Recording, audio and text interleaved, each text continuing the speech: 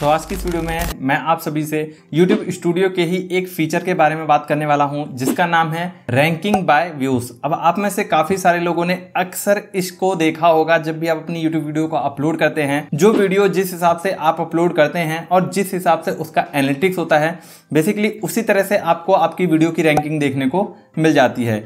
लेकिन सवाल यहाँ पर यह होता है कि आखिर ये जो रैंकिंग बाय व्यूज़ का फीचर होता है ये आखिर क्या होता है? इसका क्या मतलब होता है? और यहाँ पर रैंकिंग बाय व्यूज़ से हम किस तरह से अपने YouTube चैनल को ग्रो कर सकते हैं? किस तरह से हम इस टूल की हेल्प ले सकते हैं? अपने YouTube चैनल पर, अपनी वीडियोस पर ज़्यादा व्यूज़ गेन करने में टॉपिक्स को समझने में। दोस्तों वीडियो क्लास तक ज़रूर देखिएगा। बहुत ही ज़्यादा काम की होने वाली है। और अभी तक आपने इस वीडियो को लाइक नहीं किया तो यार जल्दी से लाइक कर दीजिए।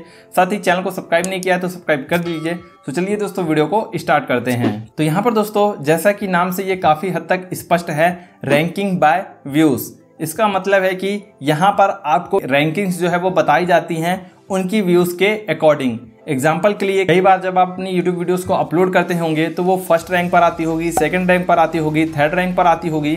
लेकिन इसके साथ साथ वहाँ पर आपको एक टाइम भी देखने को मिलता है, जिसमें इंक्लूडेड होता है first one hour first three hour या फिर फ़र्स्ट वन डे या फिर फ़र्स्ट थ्री डेज़ जिसमें आप सभी लोगों को आपकी यूट्यूब वीडियो के अपलोडिंग टाइम के अकॉर्डिंग आप सभी लोगों को एक रैंकिंग दी जाती है। मान लीजिए मैंने अभी कोई एक वीडियो अपलोड किया, जिसे अपलोड किए हुए मुझे चार घंटे हो चुके हैं।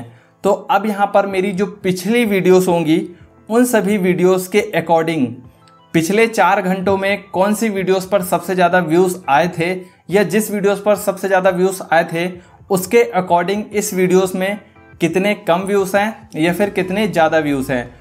उसी के हिसाब से हमारी जो रैंकिंग है, वो डिसाइड होती है। मान लीजिए पिछले दस दिनों में हमने कुछ ऐसी वीडियोस अपलोड की, जिन पर कुछ खास व्यूज़ नहीं आ रहे थे या बहुत ही कम व्यूज़ आ रहे थे तो अभी हम किसी ऐसे टॉपिक पर वीडियो वीडियो अपलोड करते हैं, जिसमें हमें कम समय में ज़्यादा व्यूज़ आते हैं तो ये रैंकिंग बढ़ जाती है। वहीं इसके उल्टा यदि हम कोई ऐसी वीडियो अपलोड करते हैं, जिसमें पास्ट के कुछ दिनों से जो वीडियो पर व्यूज़ आ रहे थे उतने ही समय में उस वीडियो पर कम व्यूज़ आते हैं तो हमारी वीडियोस की जो रैंकिंग है, वो यहाँ पर गिर जाती है।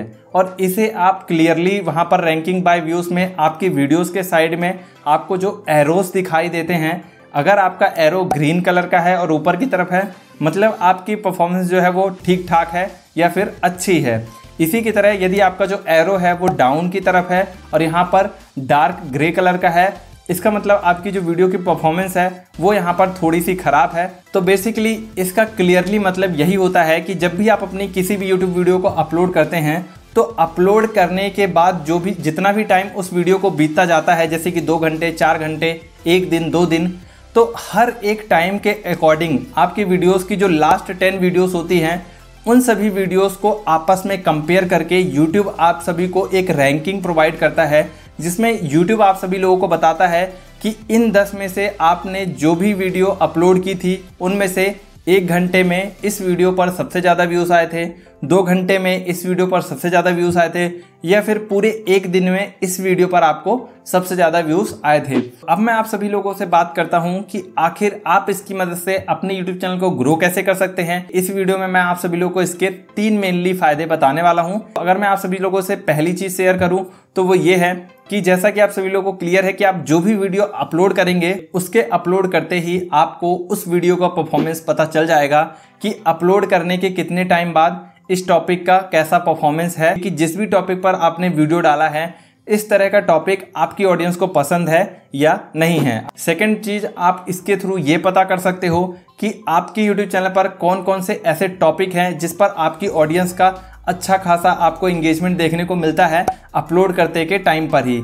इससे आप अपने यूट्यूब चैनल पर आपकी जो वीडियोस की रैंकिंग है उस रैंकिंग में से एक से लेकर पाँच तक जितनी भी वीडियोस होती हैं, उन वीडियोस के टॉपिक्स को आप शॉर्टलिस्ट कर सकते हैं कि ये सभी वो टॉपिक्स हैं जिनमें अपलोड करते ही इन सभी की अच्छी रैंकिंग आई थी। और अगर अब मैं आप सभी लोगों से थर्ड चीज़ शेयर करूँ तो वो ये है दोस्तों कि हो सकता है आप जिन भी वीडियोस को यहाँ पर अपलोड करते हैं स्टार्टिंग में हो सकता है आपको उसकी रैंकिंग काफ़ी अच्छी देखने को मिले या फिर काफ़ी डाउन देखने को मिले।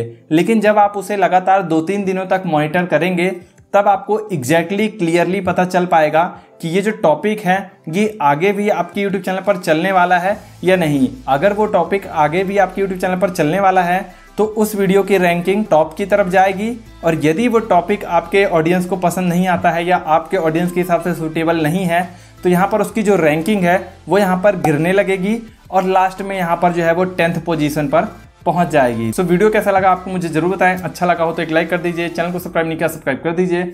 सो मिलते हैं अपनी नेक्स्ट वीडियो में। तब तक लिए good bye and take care